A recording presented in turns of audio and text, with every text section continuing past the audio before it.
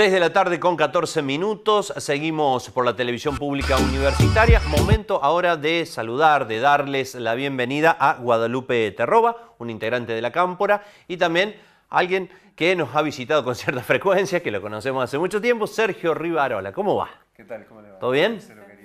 Bien, bien, bien. Gracias por invitarnos. No, al contrario, siempre agradecemos nosotros porque estando con los estudios en el campus, no es de lo más simple por allí llegarse hasta acá. No, bueno, ¿eh? pues, ¿cómo Bueno, no vamos a venir? claro. Por supuesto. Arranco así, están idea de digo. que- no, pero esa idea de que la universidad está lejos. Antes estaba lejos, ¿no? Claro, de la sí, zona sí, del sí. centro. de la Somos este, Ahora un barrio, todos. prácticamente, en el buen sentido de la palabra. sí. Pero este, algunos por ahí te preguntan, ay, ¿cómo hago? ¿Cómo voy? Pero bueno, la gente, sobre todo vos, que ya sos de la casa, ¿sí? ¿Eh? Vamos a lo nuestro, para lo cual los convocamos. ¿Puedo comenzar con la dama? Sí, por supuesto, Bárbaro. Guadalupe, eh, para la cámpora, eh, ¿cómo se vive eh, entre la euforia, entendemos, imaginamos, y la responsabilidad pensando ya en octubre? Sí, más que euforia, responsabilidad. Bien. Primero y principal creo, eh, bueno, decir la compañera, la referente Cintia Irusta, no pudo venir porque, bueno, está trabajando, eh, pero bueno, estamos trabajando en realidad todos desde el lunes. Eh, el lunes nos levantamos y ya empezamos a encarar la campaña de derecho a octubre, porque, bueno, somos conscientes y responsables de que estos fueron las pasos, de que hay una campaña de ahora en más eh, que es para elegir al próximo presidente. Tenemos mucha fe, estamos convencidos de que la gente, bueno, no aguanta más este modelo, que se han cometido muchos errores y que esto se reflejó en las urnas, eh, a pesar de que, bueno, Córdoba a lo mejor no es un electorado fácil, pero eh, hemos sorteado una, una suerte enorme haciendo una campaña totalmente honesta, hablando con los vecinos, escuchando, sumando el voto casa por casa y así es como vamos a seguir, sobre todo también con la compañera Gabriela Esteves, que es la referenta provincial de, de nuestra fuerza, eh, que siempre en este momento está en ejercicio, es diputada y vamos por la renovación, que siempre votó a favor del pueblo y creo que el pueblo eso lo sabe y que, y que bueno, lo reflejó en las urnas el pasado domingo.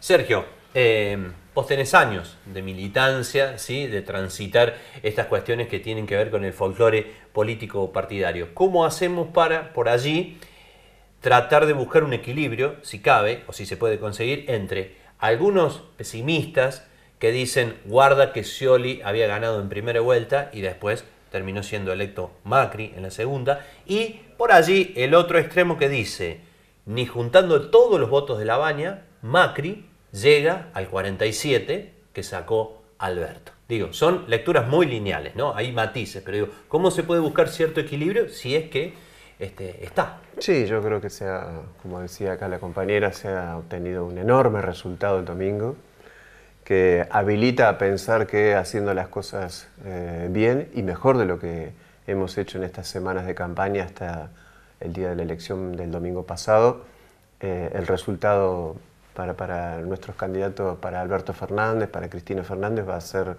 eh, no solo en los márgenes que, hemos conseguido estos- estas últimas horas, sino que significativamente mayor, pero lo importante es la consolidación del Frente de Todos como una opción electoral de peso político, eh, de acompañamiento social y sobre todo de interpretar por parte de vastos sectores de la sociedad argentina que lo que ha pasado en estos tres años y medio, estos casi cuatro años con Macri en la presidencia, ha sido eh, una, eh, un modelo que fue en contra de los intereses de las mayorías populares, en contra de los trabajadores, en contra de la producción, en contra de la docencia universitaria, en contra de la investigación.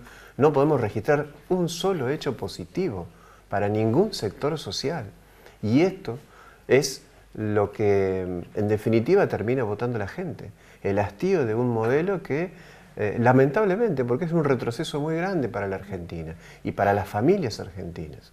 Entonces, este cóctel que termina siendo explosivo, porque lo que estamos viviendo en estas horas, después del domingo, con un presidente que le termina echando la culpa a los ciudadanos por haber elegido una opción en el marco de un cronograma electoral establecido por las instituciones de la República, eh, me parece que es un, un, desatino muy grande que nos pone a los argentinos y a las argentinas en una condición de mucha incertidumbre. Entonces, en el plano político, pensar que octubre es ahora queda lejos, porque lo que acaba de decir el presidente, el domingo cuando reconoce de mal modo el resultado electoral, endilga responsabilidad a la ciudadanía, al espacio que gana por más de 15 puntos la elección. Y en las últimas horas, entre ayer y hoy, la respuesta del gobierno es dejar que el mercado siga haciendo su juego en detrimento del conjunto de los argentinos. Bueno, octubre queda lejos. La responsabilidad política está ahora en ver de qué manera los actores que tienen representación eh, pueden plantearle al gobierno que eh, tome las riendas del caso, que gobierne como corresponde, tiene mandato hasta el 10 de diciembre y reacomode este desastre al cual nos quieren llevar. Guadalupe, ¿cómo entra, por lo que viene diciendo Sergio, eh, lo que pasa ayer después de las PASO con un dólar a 60? Chirola más, chirola menos, como decimos en el barrio. ¿Cómo, ¿Cómo juega esto en la campaña? Yo creo que, bueno, estoy convencida prácticamente. Eh, los números estaban antes del, del domingo. Eh, yo creo que sabían más o menos cómo venían eh, los resultados electorales, porque todos manejamos encuestas. Y me parece que eh, podrían haber pensado en un plan para frenar esto. Pero creo que también forma parte del discurso que vienen manteniendo todo el tiempo. Siempre la culpa es del otro. creo que hasta el domingo la culpa era de la expresidenta y desde el domingo la culpa a lo mejor la quieren hacer caer en el, en el compañero Alberto Fernández, pero creo que lo, lo, más sensato en este momento, eh, bueno, es mantener mesura, cordura. Eh, este gobierno tiene que terminar el 10 del 12 entregando el mandato porque nosotros defendemos todas las instituciones y creemos en el fortalecimiento de las mismas. Y en este momento, eh, bueno, hay que, hay que fortalecer las bases, hay que contener a la población y en este momento, más que nada, lo que tenemos que hacer es pensar de acá a octubre cómo vamos a sortear la campaña sin caer en, en un caos que creo que es un poco lo que nos llevó a todos después del discurso de ayer de la conferencia del presidente, donde vimos a alguien que no estaba inmerso en la realidad eh, de lo que estaba pasando en el país. Y eso lamentablemente trae consecuencias, porque eso lo paga el pueblo, lo paga la gente, lo pagan los trabajadores y nosotros que estamos en los barrios en los territorios estamos viendo todos los días eh, cómo este desastre, y lo voy a decir de esa forma, cómo este desastre que, a que nos ha llevado las políticas del FMI eh, se ven replicados y, hay, que, hay que ir por eso.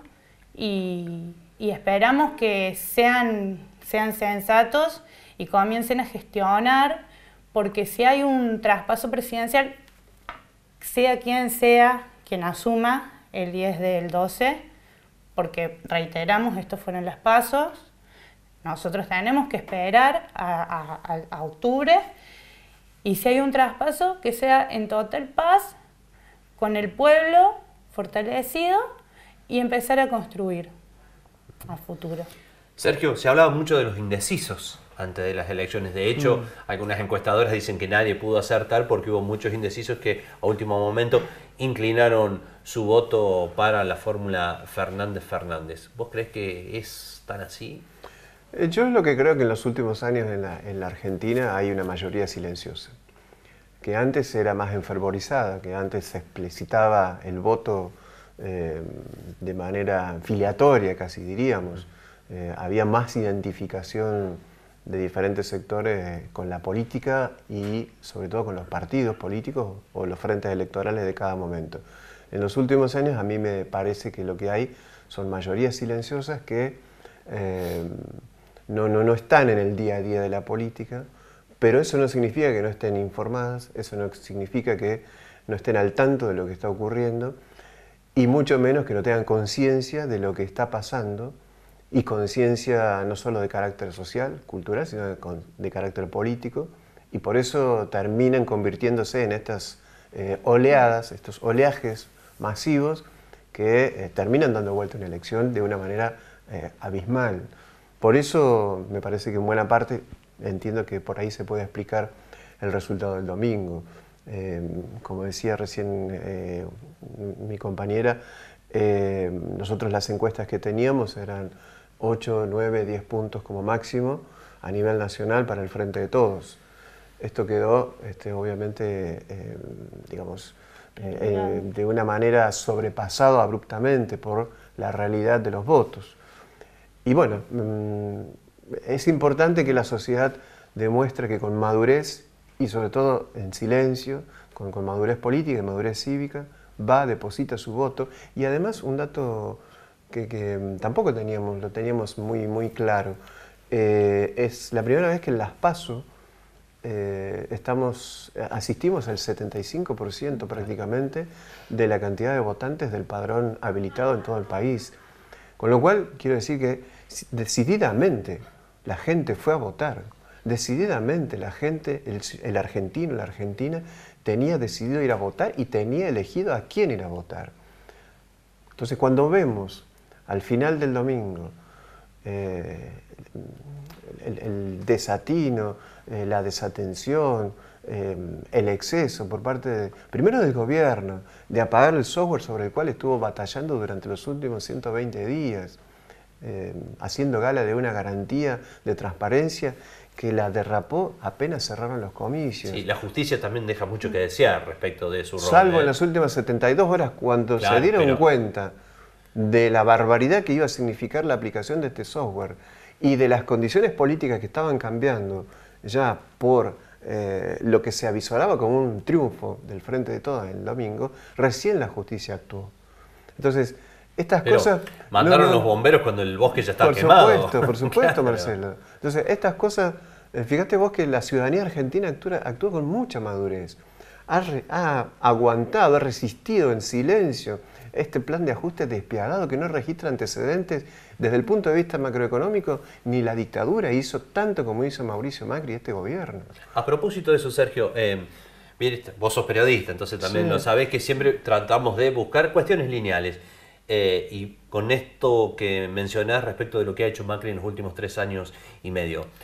Lo que pasó en las PASO, insistimos, falta para octubre, falta para la general, pero el resultado de las PASO depende más de los errores de Macri en estos casi cuatro años o de las virtudes, si podemos mencionarlo de algún modo, o de la fuerza de la fórmula opositora de los dos Fernández. Y lo que pasa es que ya ahora está clara esta fotografía del domingo, que en definitiva es la consolidación de los candidatos, hasta el domingo eran precandidatos, eh, ya está claro que hay un espacio político en crecimiento, que, ya ganó un reconocimiento importantísimo en la mayoría de los argentinos, y hay un espacio político que es el gobernante, es el oficialismo, que comienza su retirada. El problema de la democracia, o de los políticos y de los actores políticos de la, de la democracia, cuando el que está en retirada no acepta que debe estar en retirada y pone estos palos en la rueda, allí se pone en jaque los intereses de la mayoría, los intereses de la gente y la democracia, el valor de la democracia. Yo estaba recordando lo que pasó en España hace un par de años atrás con la revocatoria de Rajoy. Y me parece que eso habla de la madurez política, de la dirigencia política, cuando te toca perder, cuando te toca tener que retirarte, dar un paso al costado, porque la gente te lo marca así. Bueno, eh, me parece que eh, hace a la calidad política de lo que exigimos como ciudadanos a aquellos que deciden representar. Sí, la grandeza que hay que tener. Entonces, esto es lo que le estamos pidiendo a, Mauricio Macri. O sea, tuvo su, oportunidad. Eh, la derecha argentina por primera vez entendió que debía ir a elecciones y después de tantos años ganó una elección y puso un presidente. Y nosotros que creemos que podemos seguir formando parte de un proyecto nacional de carácter popular, nos callamos la boca, aceptamos de buen modo el resultado en noviembre de 2015, perdiendo un balotaje por medio punto, que podría haber, podríamos haberlo discutido hasta el día de hoy, y sin embargo, asumieron con total normalidad y gobernaron con total normalidad, obteniendo el apoyo de sectores políticos de nuestros este, aliados a lo largo de estos 3 4 años en el Congreso. Y mirá dónde nos están llevando.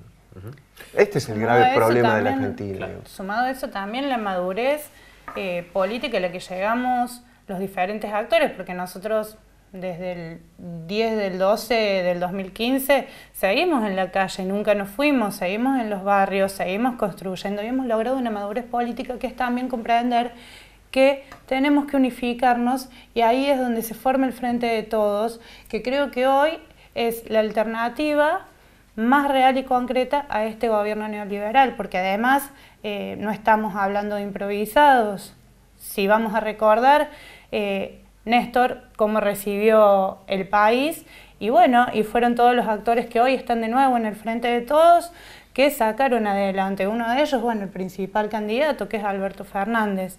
Y creo que, eso también la gente lo valora, lo ve y, que cree que podemos, cree y nosotros estamos confiados que podemos sacar el país adelante. Bien, nos queda un minuto, así que lo comparten o eligen ustedes quién responde. En este nuevo escenario, insisto con por ahí las miradas lineales, ¿cómo queda Río Cuarto pensando en una intendencia para la próxima? bueno, eh, yo creo que eh, primero sería bueno que, hablando de, escenarios locales, que, en Córdoba eh, quienes gobiernan la provincia, el Partido Justicialista de Córdoba, el gobernador, entiendan la, profundidad, el alcance, la amplitud y la cohesión que hoy representa el Frente de Todos como espacio político en la Argentina, donde está contenido el peronismo en todas sus expresiones, en prácticamente todos sus distritos, salvo Salta porque tiene un candidato y Córdoba eh, ha ido a contramano de, esta construcción. Ojalá en este tiempo eh, que se acelera, como hemos comentado aquí, eh, pueda el peronismo cordobés, el PJ cordobés, encabezado por su gobernador, pese a que podemos tener diferencias circunstanciales, ser parte de esta expresión. Porque la Argentina necesita de un proyecto colectivo de mayorías, no para la elección, para lo que viene después que se va a, va a ser muy delicado. Sergio, eso es, teléfono para Schiaretti y para Llamosas, digo. Bueno, por eso digo, este, me parece que, y en el plano local también el planteo va en esa línea. Eh, nosotros esperamos que el, intendente, yo voté al, actual intendente, ya lo he dicho varias veces, no soy parte de su espacio, pero creí que era el momento que había que expresar un cambio en la ciudad de Río Cuarto. Y también este es el momento de expresar un cambio trascendental en la Argentina. ¿Y cómo no va a estar en un intendente que viene del peronismo, de la segunda ciudad, de la segunda provincia del país? Bueno, ese es el desafío y ojalá que eh, podamos sentarnos todos a una mesa para construir este, este gran proyecto colectivo que necesita la Argentina para salir de este pozo en que nos ha metido el gobierno. A los dos muchísimas gracias. Ah, muchísimas bueno, muchas gracias. minutos. bueno, pero vos me conocés. Yo sabía que tenías más de un eran Dos, eran dos. Gracias de nuevo, muy amables. Guadalupe Terroba, una de las integrantes de la Cámpora, Sergio Rivarola, reconocido dirigente del kirchnerismo en nuestra ciudad, estuvieron compartiendo algunas reflexiones que han dejado estas elecciones paso y lo que ha sucedido en las últimas horas en nuestro país con corrida cambiaria, aumento del riesgo a nivel país justamente también y otras cuestiones que después terminan repercutiendo en el bolsillo de los laburantes y ni qué hablar esto cómo se traduce después a las clases que están más complicadas desde lo socioeconómico. Algunas reflexiones en la tarde de Unirío TV. Ya volvemos.